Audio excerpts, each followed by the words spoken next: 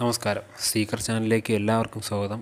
കഴിഞ്ഞ വീഡിയോയിൽ നമ്മൾ പരിചയപ്പെട്ടത് സി എ എസ് എഫിനെ കുറിച്ചും എൻ എസ് ഡിയെ കുറിച്ചുമാണ് ഇന്ന് നമ്മൾ ചർച്ച ചെയ്യാൻ പോകുന്ന വിഷയം കേന്ദ്ര സായുധ സേനയിലെ മറ്റ് രണ്ട് ഫോഴ്സുകളായ I T B P Sashastra Seema Bal എന്നിവയെ പറ്റിയാണ്. ആദ്യമായി ഐ ടി ബി പി അഥവാ ഇൻഡോ ടിബറ്റൻ ബോർഡർ പോലീസ് എന്നതിനെക്കുറിച്ച് നമുക്ക് ചർച്ച ചെയ്യാം. കേന്ദ്ര സായുധ പോലീസ് സേനയിൽ മറ്റൊരു വിഭാഗമാണ് ഐ ടി ബി പി. ആയിരത്തി തൊള്ളായിരത്തി അറുപത്തിരണ്ടിലുണ്ടായ സിനോ ഇന്ത്യൻ യുദ്ധത്തെ തുടർന്ന് ആയിരത്തി തൊള്ളായിരത്തി അറുപത്തിരണ്ട് ഒക്ടോബർ ഇരുപത്തിനാലിനാണ് സി ആർ പി എഫ് ആക്ടിന്റെ കീഴിൽ ഐ ടി ബി പി നിലവിൽ വന്നത്. ശൗര്യ ദൃഢത കർമ്മനിഷ്ഠ എന്നതാണ് ഐ ടി ബി പിയുടെ മോട്ടോ അഥവാ ആപ്തവാക്യം. നിലവിൽ എൺപത്തൊമ്പതിനായിരത്തി നാനൂറ്റി മുപ്പത്തിരണ്ട് പേരടങ്ങുന്ന സേനയുടെ വാർഷിക ബജറ്റ് കണക്കാക്കിയിരിക്കുന്നത് ആറായിരത്തി അഞ്ഞൂറ്റി ഇരുപത്തിരണ്ട് പോയിന്റ് ഒന്ന് ഒന്ന് പൂജ്യം കോടി രൂപയാണ്. ആയിരത്തി തൊള്ളായിരത്തി തൊണ്ണൂറ്റി രണ്ടിലെ Indo Tibetan border police force ആക്ടിന്റെ കീഴിലാണ് ഐ ടി ബി പി പ്രവർത്തിക്കുന്നത്. ഐ ടി ബി പിയുടെ ആദ്യത്തെ മേധാവി ഇന്റലിജൻസ് ബ്യൂറോയിൽ പോലീസ് ഓഫീസറായിരുന്ന ഇൻസ്പെക്ടർ ജനറൽ ബൽബീർ സിംഗ് ആയിരുന്നു. നിലവിൽ ഡയറക്ടർ ജനറൽ എസ് എസ് ദേശ്വാലാണ് സേനാ മേധാവി. പേര് സൂചിപ്പിക്കുന്നത് പോലെ തന്നെ ഇന്ത്യയുടെയും ടിബറ്റിന്റെയും അതിർത്തി പ്രദേശത്തെ സുരക്ഷാ സേനയാണ് ഐ ടി ബി പി. ഇന്ത്യയുടെ മറ്റ് കരാതിർത്തികൾ സമാധാന കാലത്ത് ബി എസ് എഫ് സംരക്ഷിക്കുന്നത് പോലെ സമാധാന കാലത്ത് Tibetan border I T B P സംരക്ഷിച്ചു പോരുന്നു. ആയിരത്തി തൊള്ളായിരത്തി അറുപത്തിരണ്ടിലെ ഇന്ത്യ ചൈന യുദ്ധത്തിൽ ടിബറ്റിന് മേൽ ചൈന ആധിപത്യം സ്ഥാപിക്കുകയുണ്ടായതിനെ തുടർന്നാണ് ഈ മേഖലയിൽ വിന്യസിക്കുന്നതിന് വേണ്ടി ഒരു പ്രത്യേക സേനയ്ക്ക് രൂപം നൽകിയത്. തുടക്കത്തിൽ നാല് ബറ്റാലിയനിലായിരുന്നു പ്രവർത്തനം ആരംഭിച്ചത്. എന്നാൽ ഇന്ന് ഐ ടി ബി പി അറുപത് ബറ്റാലിയനുകളായി വ്യാപിച്ചിരിക്കുന്നു. ഹിമാലയത്തിന്റെ താഴ്വരയായ ഒരു അതിശൈത്യ മേഖലയാണ് ടിബറ്റൻ ബോർഡർ. ഇവിടങ്ങളിൽ ജനങ്ങൾക്ക് മെഡിക്കൽ ക്യാമ്പ് നടത്തുക വാർത്താവിനിമയ സംവിധാനം പുനഃസ്ഥാപിക്കുക രക്ഷാപ്രവർത്തനം നടത്തുക മുതലായവ കർത്തവ്യങ്ങളും ഐ ടി ബി പി നിർവഹിക്കുന്നു. കൂടാതെ ഐ ടി ബി പിയുടെ രണ്ട് ബറ്റാലിയനുകൾ ഡെപ്യൂട്ടേഷനിൽ നാഷണൽ ഡിസാസ്റ്റർ റെസ്പോൺസ് ഫോഴ്സായും പ്രവർത്തിക്കുന്നു. ഐക്യരാഷ്ട്ര സഭയുടെ സമാധാന സംരക്ഷണ ദൗത്യത്തിന്റെ ഭാഗമായി സുഡാൻ ഹൈദി പടിഞ്ഞാറൻ സഹാറ അഫ്ഗാനിസ്ഥാൻ മുതലായ സ്ഥലങ്ങളിലും ഐ ടി ബി പി സേവനമനുഷ്ഠിച്ചിരുന്നു. രാജ്യത്തെവിടെയും സംഘർഷമോ ലഹളയോ ഉണ്ടായാൽ ആവശ്യമെങ്കിൽ ഐ ടി ബി പിയെ വിന്യസിക്കാറുണ്ട്. നിലവിൽ ലഡാക്കിലെ കാരക്കോറം ചുരം മുതൽ അരുണാചൽ പ്രദേശിലെ ദിപുല വരെയുള്ള മൂവായിരത്തി നാനൂറ്റി എൺപത്തി എട്ട് കിലോമീറ്റർ ഇന്ത്യ ചൈന ബോർഡർ സംരക്ഷിക്കുന്നത് ഐ ടി ബി പി ആണ്. സമുദ്രനിരപ്പിൽ നിന്ന് ശരാശരി ഇരുപത്തൊന്നായിരം അടി അഥവാ ആറായിരത്തി നാനൂറ് മീറ്റർ ഉയരത്തിലാണ് ഇവിടുത്തെ മിക്ക സൈനിക പോസ്റ്റുകളും സ്ഥിതി ചെയ്യുന്നത്.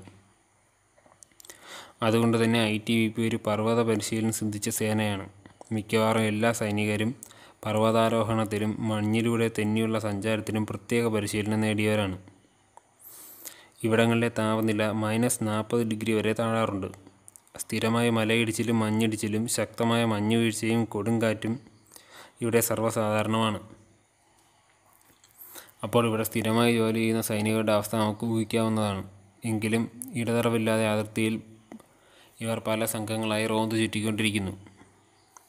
ഹിമാചൽ പ്രദേശിലെയും ഉത്തരാഖണ്ഡിലെയും വടക്ക് കിഴക്കൻ സംസ്ഥാനങ്ങളിലെയും പ്രകൃതിക്ഷോഭ സന്ദർഭങ്ങളിൽ പലപ്പോഴും രക്ഷയ്ക്കെത്തുന്നത് ഐ ടി ബി പി ആണ്.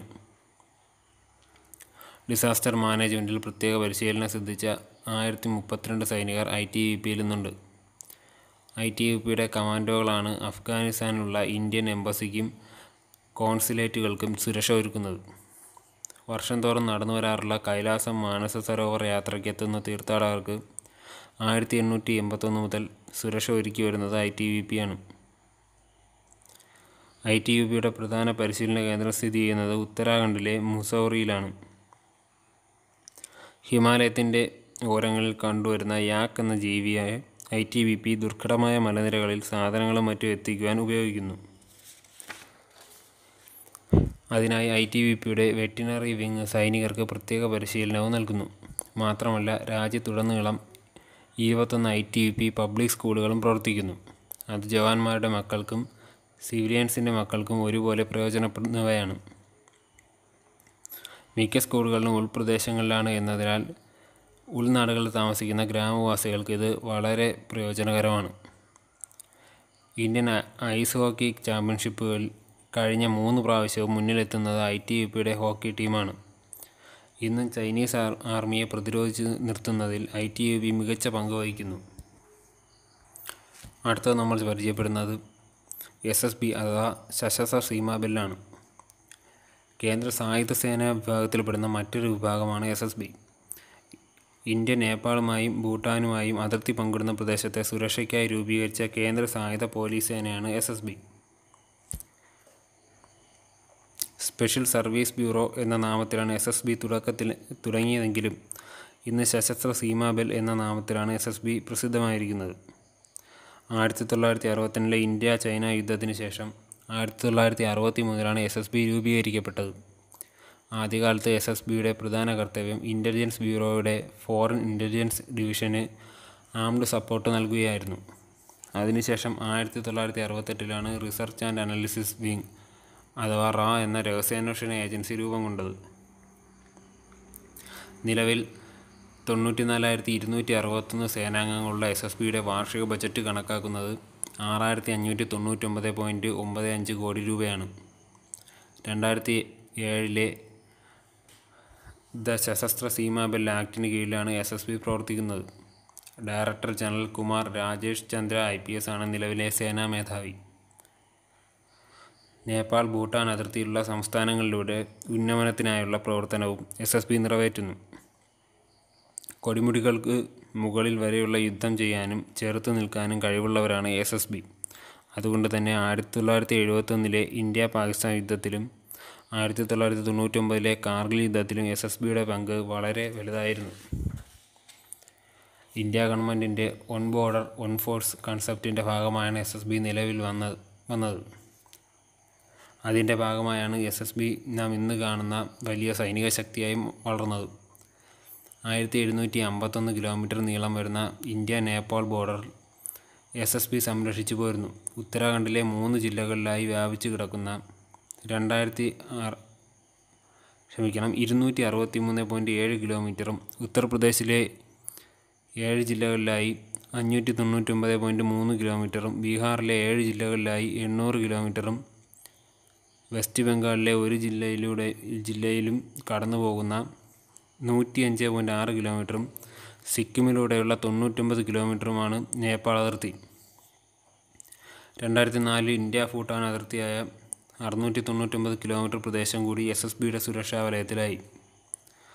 സിക്കിമിന്റെ മുപ്പത്തിരണ്ട് കിലോമീറ്റർ വെസ്റ്റ് ബംഗാളിന്റെ നൂറ്റി എൺപത്തി മൂന്ന് കിലോമീറ്റർ അസാമിന്റെ ഇരുന്നൂറ്റി അറുപത്തേഴ് കിലോമീറ്റർ അരുണാചൽ പ്രദേശിന്റെ ഇരുന്നൂറ്റി പതിനേഴ് കിലോമീറ്റർ എന്നിവയാണത്. വനിതാ ബറ്റാലിയനുകൾക്ക് രൂപം നൽകിയ ഇന്ത്യയിലെ ആദ്യ അതിർത്തി സുരക്ഷാ സേന എസ് എസ് ബി ആണ്. ജമ്മു കാശ്മീരിലെ തീവ്രവാദ വിരുദ്ധ പോരാട്ടങ്ങളിലും ജാർഖണ്ഡ് ബീഹാർ ഛത്തീസ്ഗഡ് എന്നിവിടങ്ങളിലെ നക്സൽ വിരുദ്ധ പോരാട്ടങ്ങളിലും എസ് എസ് ബി സൈനികർ പങ്കാളികളാണ്.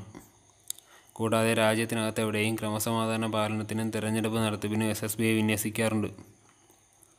രണ്ടായിരത്തി പതിമൂന്നിലെ എസ് എസ് ബിയുടെ അമ്പതാം വാർഷികം അഥവാ സുവർണ ജൂബിലി ആഘോഷങ്ങളുടെ ഭാഗമായി കമാൻഡന്റ് സോമിത് ജോഷിയുടെ നേതൃത്വത്തിലുള്ള ഒരു പർവതാരോഹണ സംഘം രണ്ടായിരത്തി പതിമൂന്ന് ഏപ്രിൽ രണ്ടിന് ഡൽഹിയിൽ നിന്ന് യാത്ര തിരിക്കുകയും രണ്ടായിരത്തി പതിമൂന്ന് മെയ് ഇരുപത്തൊന്നിന് രാവിലെ ഒമ്പത് നാൽപ്പത്തഞ്ചിന് എവറസ്റ്റ് കൊടുമുടിക്ക് മുകളിൽ ത്രിവർണ പതാക പാറിക്കുകയും ചെയ്തു. അടുത്ത വീഡിയോയിൽ നമുക്ക് ഇന്ത്യൻ പ്രതിരോധ സേനകളെ പരിചയപ്പെടാം. നന്ദി.